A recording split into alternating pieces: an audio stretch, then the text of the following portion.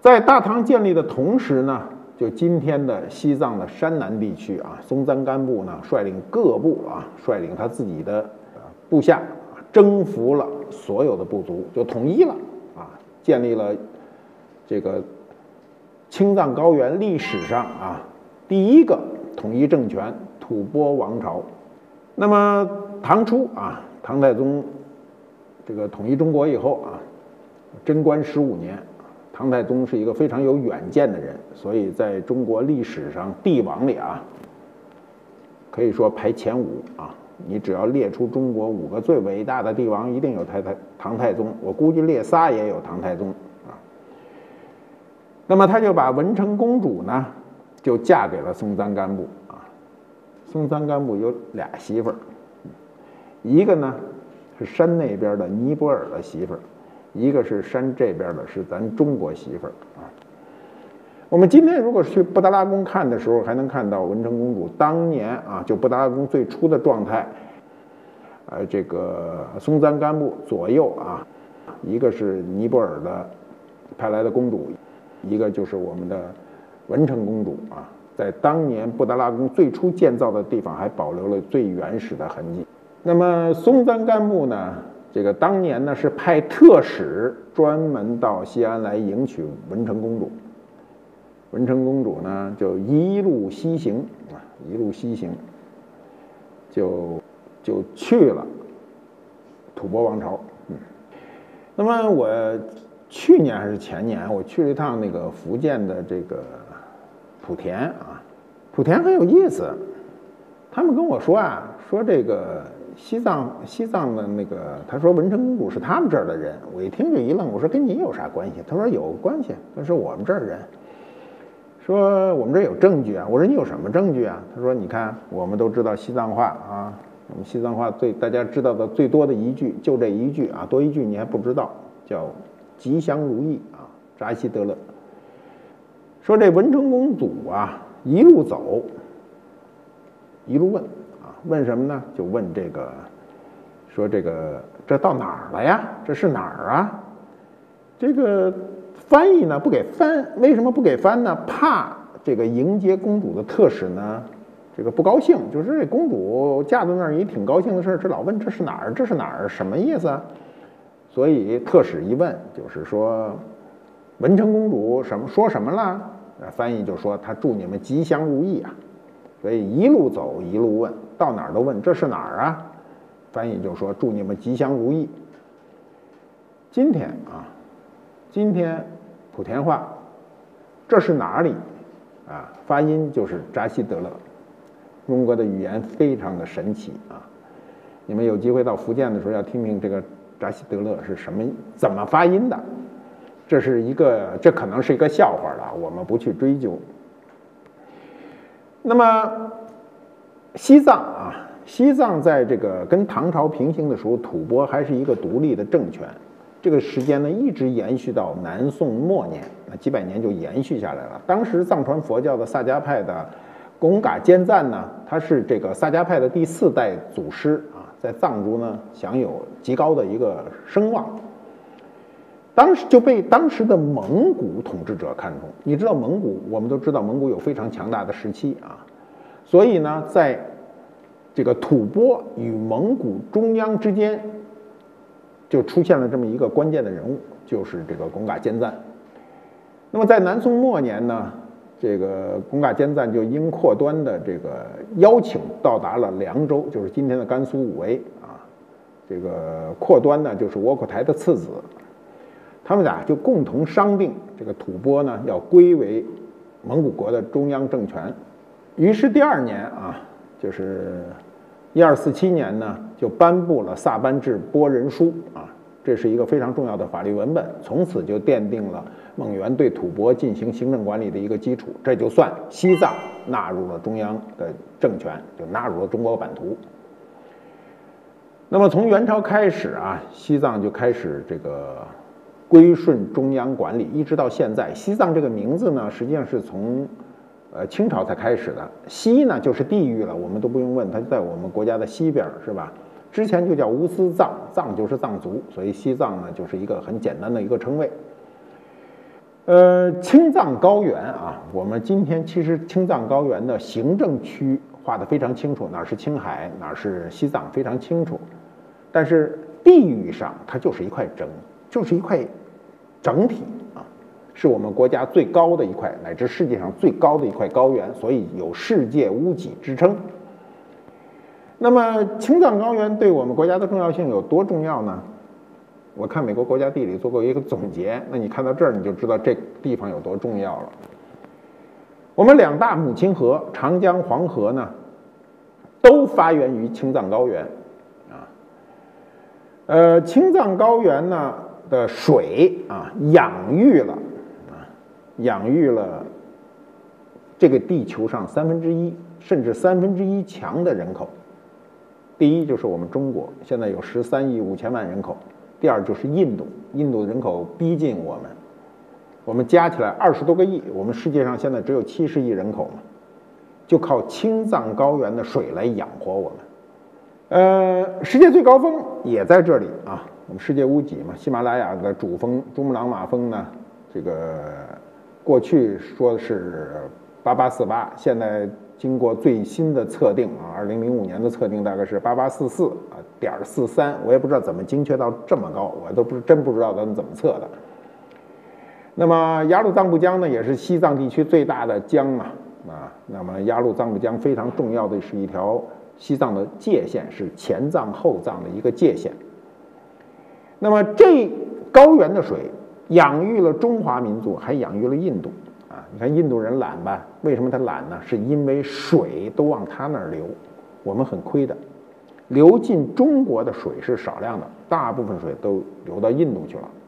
所以印度恒河天年年发大水。你看地理图你就知道，我们的国土从青藏高原是逐级下降的，而印度呢，省啊尼泊尔过后就是断崖式的，直接就切下去了。所以下那个水往那边流的更多。西藏呢有大概面积啊，有一百二十三万平方公里，占中国大约八分之一，很大的一块国土啊。如果我们再加上青海，那就非常的大了。高原的感受是跟平地是完全不同的，就是我觉得每个人一生只要身体允许，都应该去高原一趟。所以我就想，我就得进藏。进藏有四条线啊，我们告诉你很简单：青藏从青海走，川藏啊从成都走。新藏从新疆叶城走啊，滇藏从昆明走，云南昆明。那么这四条线里最危险的呢，最长的、海拔最高的肯定是新疆走啊，就新藏线。我们我就选择了川藏。当时很多人劝我说：“你这这么大岁数了，干什么去啊？去你就坐飞机直接飞拉萨，下了飞机不行了就飞回来。”我说：“那不成，我非得沿途看一看。”所以我们就做了充分的准备。从成都开车，开了七天半，在路上露宿七天啊，不是十天，七天。第一天去了哪儿呢？第一天住在丹巴县城，四川的丹巴县城。这个地方最有名的就是大渡河，所以我们在大渡河的铁索桥上来回走了好几遍。很多人不敢走啊，走到那儿腿软，我还不怎么腿软，我还在那儿用那个连拍的相机转圈拍了很多照片。第二天住的呢是卢霍，第三天就到了甘孜县城。呃，到了甘孜县城，再往前走就真正进了藏了。在进藏前的那个关卡那儿啊，看到一个藏族女孩儿。呃，过去老说看见一个人惊为天人呐，我看见这藏族女女孩儿，我就觉得惊为天人。那个人长得不可以这么这么漂亮，漂亮到什么程度呢？就是漂亮的你不大好意思看她。车都开出好远了，我都想让车再开回来，我再看他一眼啊！你就想这人长得有多么漂亮，人完全是有一种雕塑感。那么第四天我们住在德格啊，德格有这个印经院啊，里头都印着经书，那所有的经版都经过几百年了。在德格呢，赶上他们这个这个转经啊，很多呃藏族的。呃，男女老少在那转经，我们也跟着转。我们转了几圈，腿就软了。人家据说一转几百圈，乃至上千圈，还有的人终身天天在那转。看到那个藏族的妇女啊，戴着那个头饰啊，那个漂亮啊，两个色，一个是琥珀的那种暖黄色，一个是松石的那种翠蓝色啊，满头都是，还有天珠啊，就是你们梦寐以求的天珠，很多人做各种文章的天珠啊，满头都是，然后追着人家看，追着人家拍啊。那么第五天就住在昌都啊，昌都。第六天呢就是波密啊，波密县城。第七天呢，林芝。这七天只有林芝能睡一个好觉，为什么？林芝首先是地势低，大约海拔只有两千米。第二呢，森林茂密，氧气充足啊。我们经过七天的颠簸，在林芝啊，那天还喝了点酒，所以睡得特别沉。你如果没有经常在西藏锻炼的话，你在西藏啊旅游的时候，第一感觉就睡不实，啊永远睡不实。啊，就不知这觉怎么感觉就没睡着似的。其实你睡着了，你就感觉没睡着。啊，有人还做梦，我是不做梦。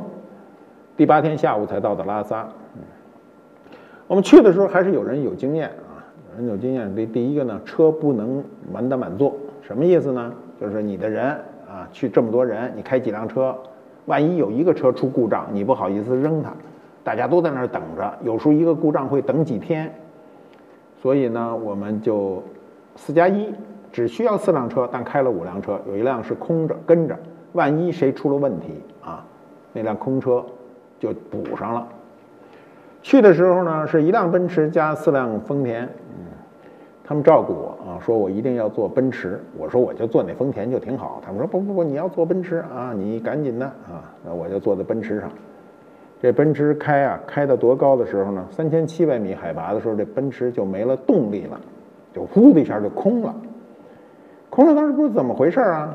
就听前面因为都拿着步话机呢，就喊就说没动力了，说没动力了，说再打会试试，一打又着了，说走又往前走，又走了二百米，轰的又没动力了。当时不知道什么原因，只有一个办法换车，然后我们就下来了，让这车原地掉头啊往回开，我们就继续前行。据说这车呢特高兴的一路。一点都不熄火啊，完全都是动力，直接下山回了成都。回到成都才知道什么毛病，就是海拔高了，氧气不足，所以这奔驰车就开不了。它里头有一个什么装置，说如果你要想什么，就得改这装置。可那丰田车特皮实，啥事没有，开着丰田前进。我当时跟他们是这么要求的，我说你们呀，就给我安排一个藏族司机。他们说你沟通起来不方便呀，说我们这给你从驾校请的教练。我说驾校那教练全是中看不中用啊，在那教学生行，啊，但是上这西藏不行，你就给我找这个西藏的这个同胞啊，他们呢对生死的认知跟我们不一样，所以我一定要让他开车。所以我这个西藏的这个师傅啊，就给我开车。他跟我有时候也聊几句，一般情况下不怎么说话。开车的一天一天的不怎么说话，我就坐在副座上。我不喜欢坐在后面，我喜欢坐在副座，因为副座可以看到外头，可以看到前面，可以看到侧面。我们有人很恐高的啊，开这个山路的时候，这边是悬崖的时候，很多人往下一看就晕了，就有人说血压立刻就一百八了。我都不怎么害怕。结果有一天啊，从山上下来的时候，这司机跟我说说。马老师说：“刚才很危险。”我说：“有多危险？一个轱辘在悬崖外，我们都不知道，我们全在车上啊。”我说：“咱们不是都已经下来了吗？这就是命啊！那真的就是命。比如我们过了通麦大桥没多久啊，全国发一条新闻，CCTV 新闻发的，通麦大桥断了。”当场没有任何征兆的时候，咣当断了，所有桥上的车一股脑就下去河里就没了影了。再找着就是多少公里以外了，没有人可以活下来。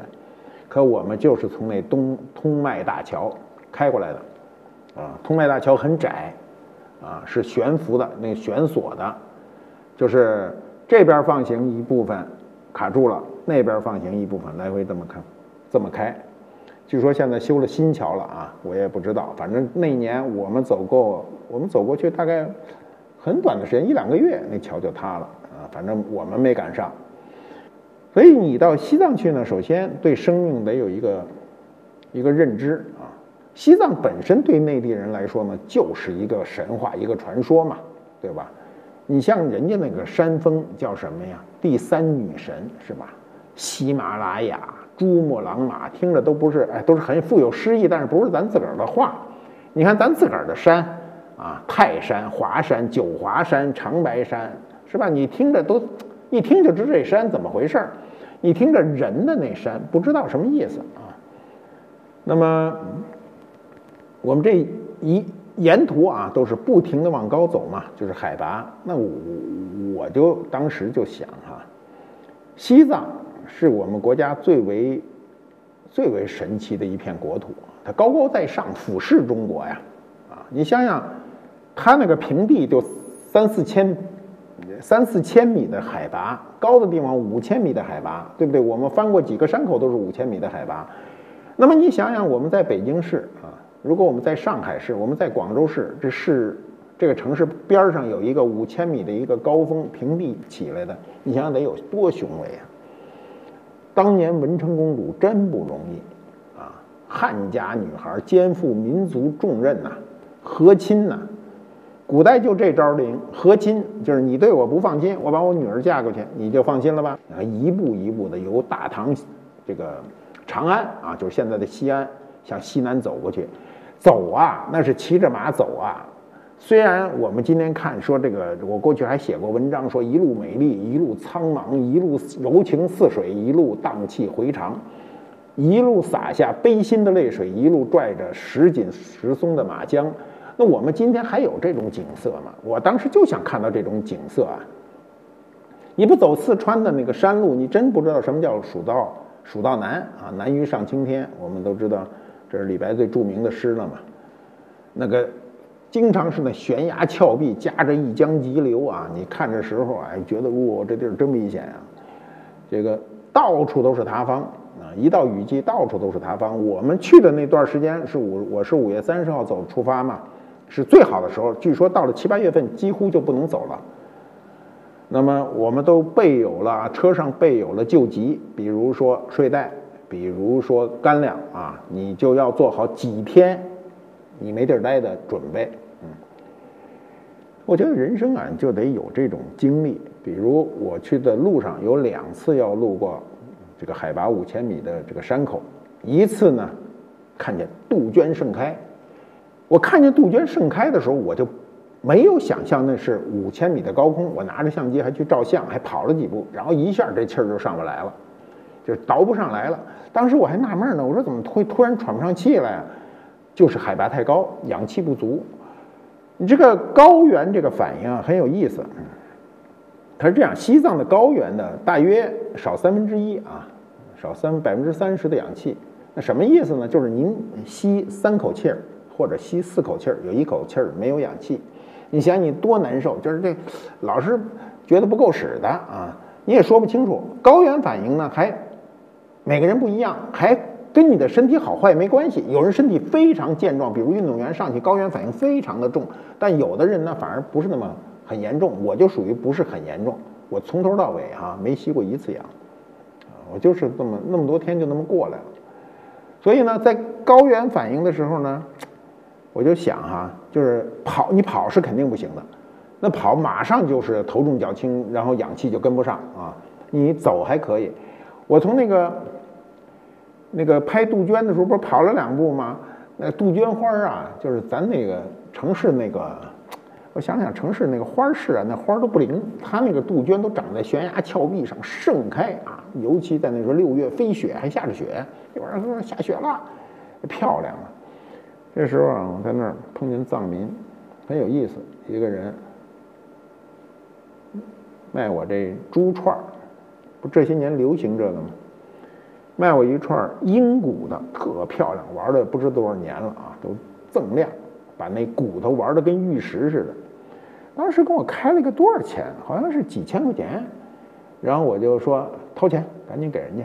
所有人都觉得我很大方，说怎么不砍价？说这能砍价的？我说不砍价。我说他有价钱我就买，也没有超出我们的支付能力嘛。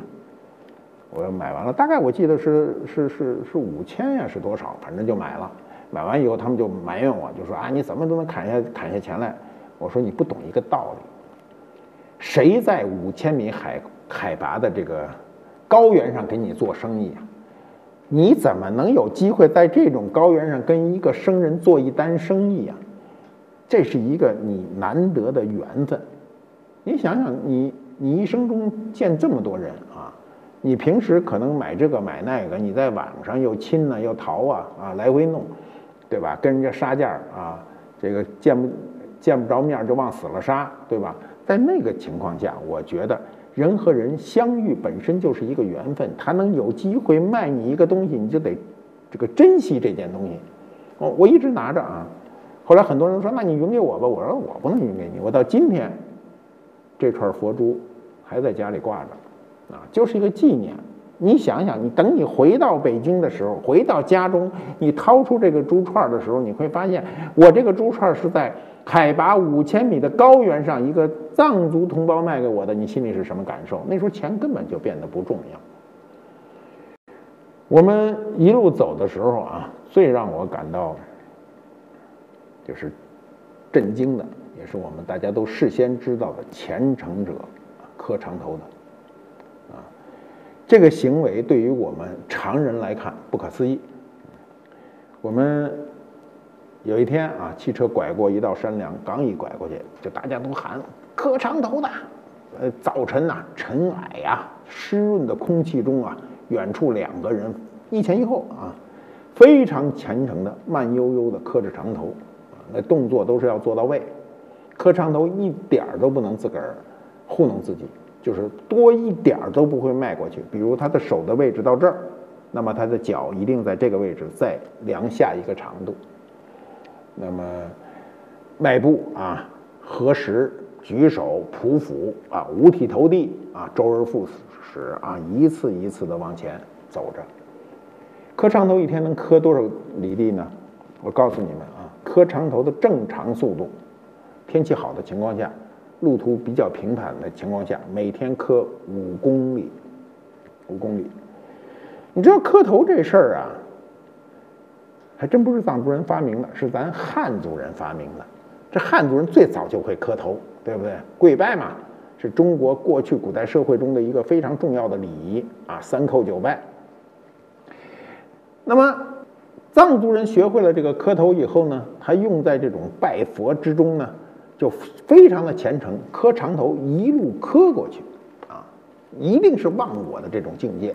我们看到这磕长头的人说，马上就说你停停停停下来，停下来。我们要上去跟人聊天，就跟他们聊，他们就停在那儿啊。我们开始那个呃，这个是这个前胸有一块皮革，因为老趴在地上嘛，不磕的时候就摘下来了。然后我们开始跟人家聊，是吧？就说你出来离家多有多久了？说出来三个多月了。说要磕哪儿去啊？说要磕到拉萨去。说磕多长时间呢？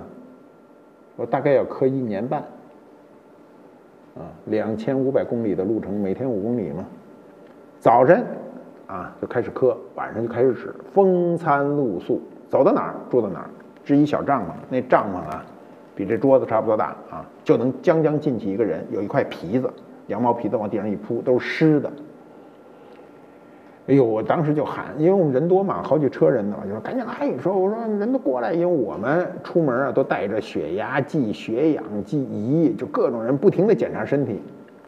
为什么？怕出问题。比如你血氧低到，你比如你血氧低到八十五以下，你就要注意了，你就要吸氧，要不然你会出问题，可能会产生昏迷，对吧？结果把我们的工作人员叫来啊，给人量血压。那血压叫标准血压啊，高压一百二，低压八十啊。量血氧，人的血氧几乎百分之百，我们自个儿看自个儿那血氧都不好意思看啊。呃，其中一个人感冒了，我们就给他点药啊，他收留了药，我们给他一部分钱，他不要，他这么说的，他留下一百，很有意思，他就把这个钱留下一百块，说我够用了，其他都还给你啊，他不要。你再给他，就算对他不敬了。所以我们也就这个遵守他的原则。我们又从车上拿来方便面给他点儿，他也是，就是够了，不要很多。他们觉得这一路上所有遇到的事情都是他的人生中必须遇到的，比如疾病和苦难。我们不认为，我们遇到疾病和苦难，第一反应就是我怎么那么倒霉呀？我怎么怎么今儿感冒了，我这么难受啊，我这这这不行啊，就是这种感觉，他没有，他觉得遇到什么就是什么。呃，给他一给他那个感冒药啊，他就留了一袋，就是说如果说不舒身体不舒服的时候可以吃，因为你我觉得他很容易感冒或什么的。可是人身体真好啊，笑的时候啊，一口大白牙。这个西藏人这牙太好了。我们小时候那教育在西藏人面前是不太起作用。我们小时候是怎么着，早晚要刷牙，怎么牙齿怎么保护？你看这城市人这牙医都是一口烂牙，要没有这城市的牙医呀，今天大部分我们这人的牙都长不好。你看人那白牙。有一天我们在一个地方开篝火晚会，上来藏族女孩唱歌载歌载舞，这一乐啊，你想晚上又没灯，月光篝火，那白牙穿过黑暗。让大家都不好意思张嘴。你看人家那牙怎么长的？我们去一个路过一个寺院，我们去了很多寺院啊。这些寺院呢，我不大，我跟他们这个带带队的人说，我说我尽量去一些从来没有人去的。所以我们记着，反正去了拐弯，走了很多很很很就很人间罕至的地方。去了一个寺院，正在修，修呢，我们正在那儿折腾呢啊，人家请我们吃点东西啊。然后正在拍照，就听见那边那野地里有一女孩唱歌。我觉得所有的晚会都是瞎掰，嗯，那才叫天籁之声呢。就是尤其在西藏高原上，一个女孩在那干活时候边干边唱的那个声音呐，那种感动人呐，绝对不是任何晚会可以给你的。我们去的时候呢，有几个西藏女孩在那儿唱歌，然后呢，摄像。跑过来就说：“给他拍照，给他拍照，让他重唱。”女孩就不唱了，那不好意思了。有个女孩拿着一个天珠，哎呦，那天珠啊，按照今天世俗的标准啊，这叫世俗的标准。西藏人并没有这个标准，这个标准叫至纯，啊，就是最纯的天珠，漂亮之极，奶白色。那个藏族女孩拿着，然后大家。一攥在手里啊，第一个人就说错话了。怎么说的呢？一拿着，第一个反应就说：“这在北京二环边上能买一二居室啊！”这话多么世俗啊！在人家宗教信仰面前说这么世俗的话，然后我就瞪了他一眼。旁边那个人说的更世俗，说：“我觉得能买一三居室。”所以，我们这些人。经过世俗的训练是不可以达到宗教的境界的。女孩拿着哈，没好意思说说你卖给我们，没敢说，说觉得再说这话就等于侮辱对方。女孩一会儿拿着啊，他们那正在修坛城，当着我们所有人的面直接就扔进去了，那个坛城就封了，里头各种珠宝。当时我们都看了直愣啊，说这东西直接就封了，那坛城一封，这东西多少年就打不开啊，或者那哪年打开咱也不知道。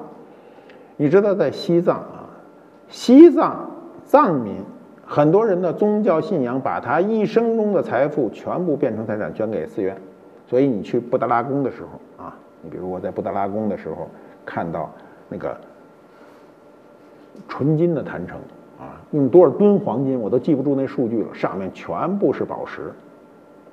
我当时是带这个任务，很希望这个，很希望这个自己这个在天珠这个认知上能够前进一步，所以特别注重对天珠的这个使用方面的观察啊，我们做了大量的笔记、照相，我们发现啊。天珠在西藏的所有，不管是宗教造像中，还是宗教的器物中，它永远不在最重要的位置上。可见西藏的藏民对它的认知没有我们这么世俗。